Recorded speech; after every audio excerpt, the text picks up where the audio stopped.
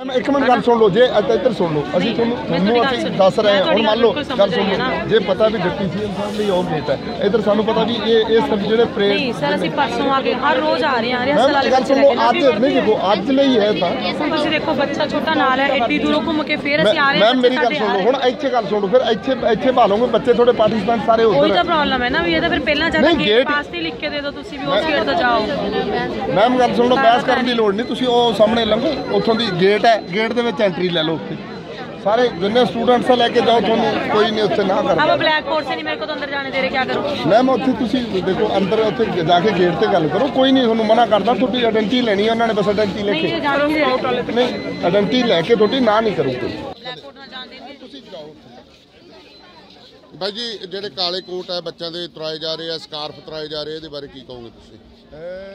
ਬੱਚਿਆਂ ਦੇ ਨਹੀਂ ਇਹ ਤਾਂ ਸਿਰਫ ਜਿਹੜੇ ਮੈਡਮ ਨੇ ਕਿਹਾ ਵੀ ਕਿਸੇ ਨੂੰ ਨਹੀਂ ਜਾਣਦੇ। ਦੇਖੋ ਜਿਹੜੀ ਜਿਹੜੀ ਡਰੈਸ ਹੈ ਡਰੈਸ ਇਹ ਤਾਂ ਸਿਰਫ ਉਹਨਾਂ ਦੇ ਸਸਪੈਕਟਡਸ ਨੇ ਅਦਰਵਾਈਜ਼ ਜਿਹੜੇ ਬੱਚੇ ਆ ਬੱਚਿਆਂ ਦਾ ਤਾਂ ਕੋਈ ਤੁਸੀਂ ਕਿੱਥੋਂ ਆਏ ਹੋ? ਜੀ। ਕਿਉਂਕਿ ਬੱਚਿਆਂ ਨੇ ਸਾਰੇ ਲੇਡੀਜ਼ ਆਈਆਂ ਨੇ ਇਹਨਾਂ ਨੂੰ ਕੋਈ ਨਹੀਂ ਨਹੀਂ ਬੱਚੇ ਜਿਹੜੇ ਸਸਪੈਕਟਡਸ ਲਈ ਆ ਹਾਂਜੀ। ਅਦਰਵਾਈਜ਼ ਅਸੀਂ ਕੋਈ ਨਹੀਂ ਦੀਜ਼ ਆਰ ਸਸਪੈਕਟਡ ਨਾ ਨਾ ਨਾ ਨਾ ਇਹ। ਕੋਈ ਇਹ ਤਾਂ ਬੱਚੇ ਨੇ ਸਟੂਡੈਂਟ ਨੇ ਜਾਂ ਟੀਚਰਸ ਨੇ ਇਹਨਾਂ ਨੂੰ ਨਹੀਂ। ਨਹੀਂ ਇਹਨਾਂ ਦੇ ਮੈਡਮ ਨੇ ਮੋੜੇ ਨੇ ਤਰਾ ਕਹਿੰਦੇ ਵੀ ਅਸੀਂ ਜਾਣ ਨਹੀਂ ਦੇਣਾ ਹੁਣ ਨਹੀਂ ਨਹੀਂ ਨਹੀਂ। ਤੁਸੀਂ ਆਖਿਆ ਜੀ ਅਸੀਂ ਜਾਣ ਨਹੀਂ ਦੇਣਾ। ਨਹੀਂ ਨਹੀਂ ਐ ਨਹੀਂ ਕਹਿੰਦੇ। ਐ ਨਹੀਂ ਕਹਿੰਦੇ ਨਹੀਂ ਬਿਲਕੁਲ ਨਹੀਂ ਜਾਣ ਕਰਨ ਦਿੰਦੇ? ਸਾਡੇ ਨਾਲ ਪ੍ਰੇਮ ਤੁਸੀਂ ਉੱਥੇ ਅੰਦਰ ਆ ਜਾਓ। ਭਈ ਯਾਰ ਕੋਈ ਇਨਸਟਰਕਸ਼ਨ